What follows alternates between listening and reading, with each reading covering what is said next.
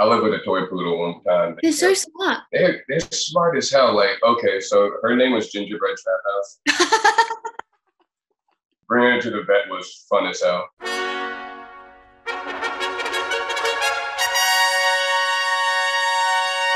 Hey, what's up? It's Trey. Back for another questionnaire life in my new apartment I kept talking about. Today I have singer-songwriter Wafia with us. How's it going? Good, thanks. Okay, let's jump into some questions real quick. You've met your soulmate, but you have to live with one of these flaws they have.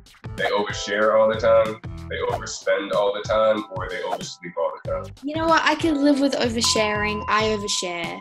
We can both overshare together. When you're oversharing, do you ever like realize that's what you're doing, or I realize what I'm doing. I like, especially like, I think that that's in sessions. I'm definitely doing that. That's definitely a con of being in a relationship with me. So I know that I'm that person. So I've got to defend my partner if they're that person. all right, what's more fun when you're writing a song? Telling your truth, creating something relatable, or just making a hit? I think what's more fun sometimes is just like creating and not even thinking about how other people are gonna respond to it. I have a lot of fun in sessions where I write bad songs, and I think that those are pretty crucial. All right, next question. Uh, Chiko rolls, dim sims, or meat pies? Meat pies, always. What's like the first flavor you're running to? You know what? It's a pasty. it's like this like circon I like moon shaped, I guess. Semicircle pasty that's like folded over and it's got vegetables, I think, in it. Meat pies to me are like in primary school I like, but I feel like a pasty is like a little bit more elevated. I'm an adult now, you know. I'm making better choices for my health. I'm gonna ask you about some tweets real quick. Anyone who is dressing up to stay in is a cop.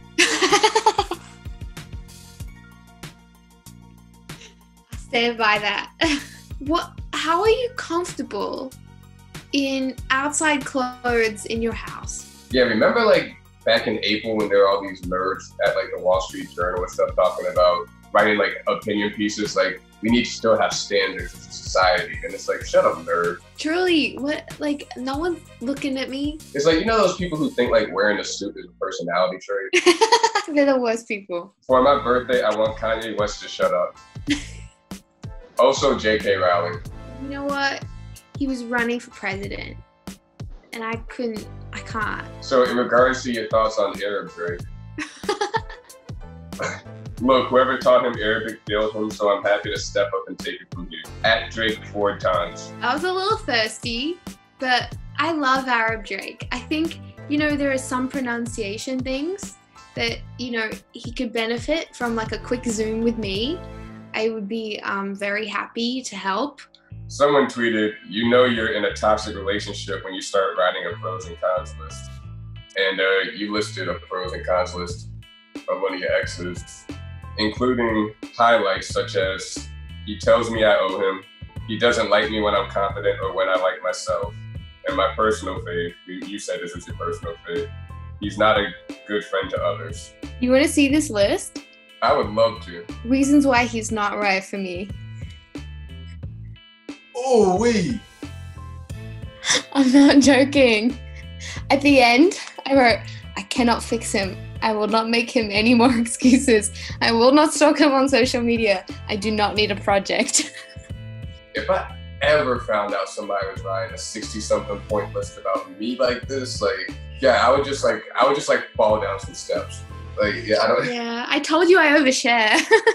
All right, well, this was extremely fun. Like, what else should we know about Wafia before we leave? I think that was pretty pretty well rounded. I mean, you saw my list. I don't know what, what more I could give you. Thank you so much. This was really fun. All right, that's the questionnaire of life. Uh, yep. See y'all next time. See you next time. Thanks, guys. Plants, pets, or babies? I, I do wish I had a pet. I got plenty of plants. They don't love you the same way. I definitely don't want a baby.